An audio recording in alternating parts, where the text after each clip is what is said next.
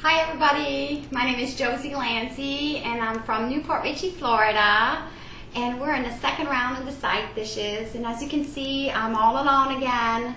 No camera people, but um, I'll do my best with the camera work. And of course, the Real Women of Philadelphia is such a great contest and I'm still having lots of fun with it. And I shared a little bit about myself in the dessert um, part, uh, my childhood, where I was born, and then um, now I'm going to share a little bit of the second chapter of my life.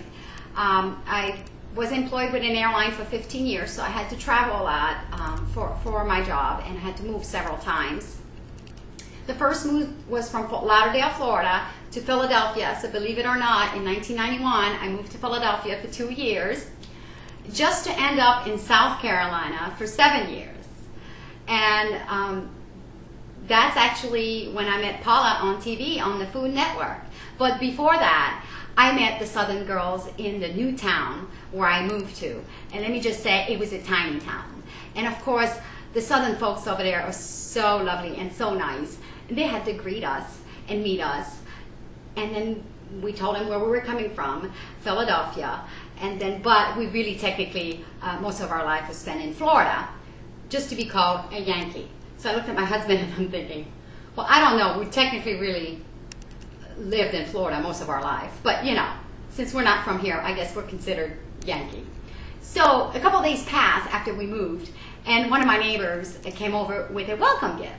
And um, let me share that welcome gift for you.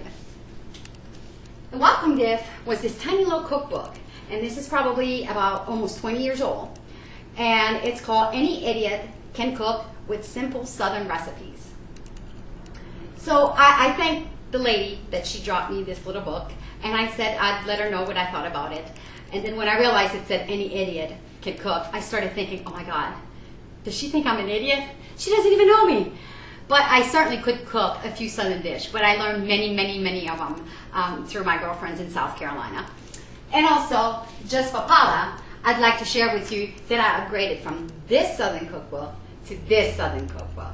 This is my favorite, A Celebration with Paula Deen. And this is one of my favorite books because she shares a lot of uh, stories, uh, where she's been, how she's discovered recipe, and a lot of love that she puts into it. So this is my favorite book, Paula. But right now, I'm going to show you a very simple and very creamy and cheesy recipe that's going to be my actual side dish tonight because I just came home from work.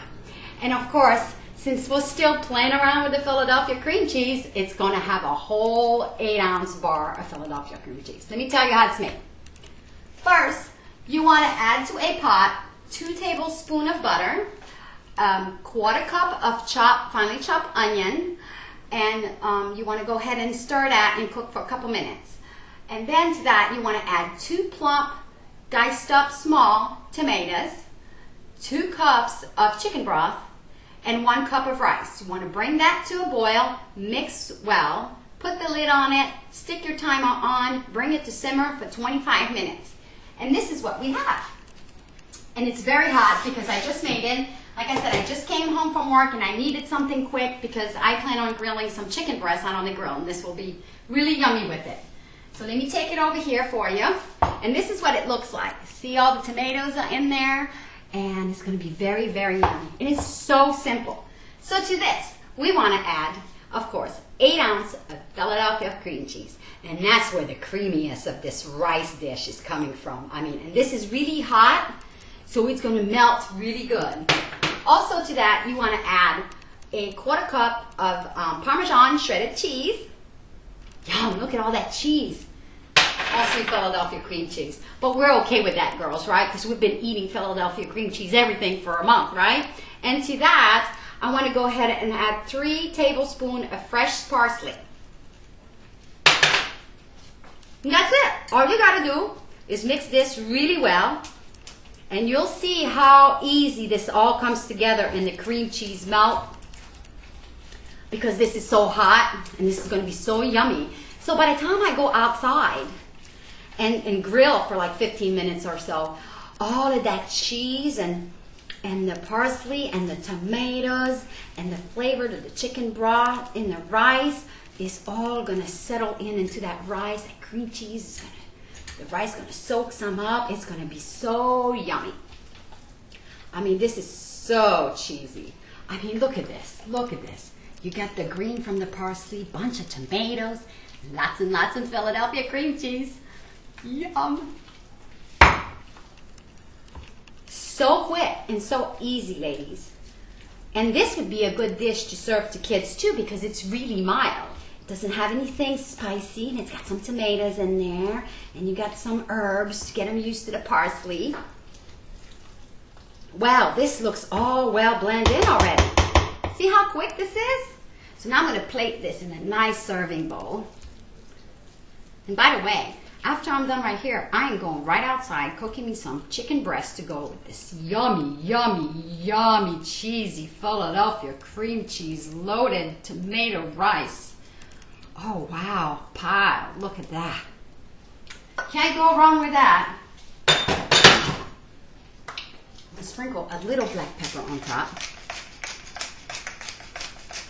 That's looking so good. And of course, for Paula, we gotta add a little garnish. And of course, we want a little bit more green. So I'm gonna stick a couple pieces of this beautiful basil that I grow myself. I also use the tomatoes I grow myself. This is the time of year where here in Florida, we got nice tomatoes and peppers and basil and all the goodies. But there you have it. This is my cheesy rice and tomato side dish loaded with Philadelphia cream cheese. It's going to be very yummy. But of course, I can't just leave you as that.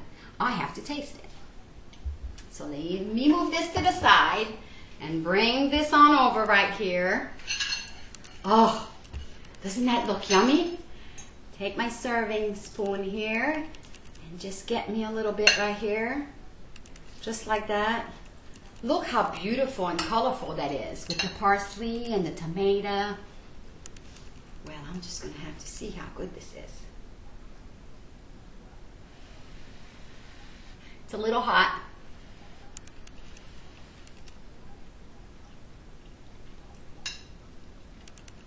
Oh, Oh my God, it's so yummy.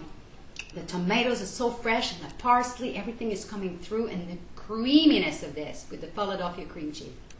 It's out of this world. It's like the quickest side dish you could ever make. So I hope you all try it. And you real women of Philadelphia, I love you on the website. I am so encouraged and Pauline is there with us. And so I hope you guys try this. Very simple, but so delicious creamy rice and tomato dish. Until next time, so long everybody. Bye.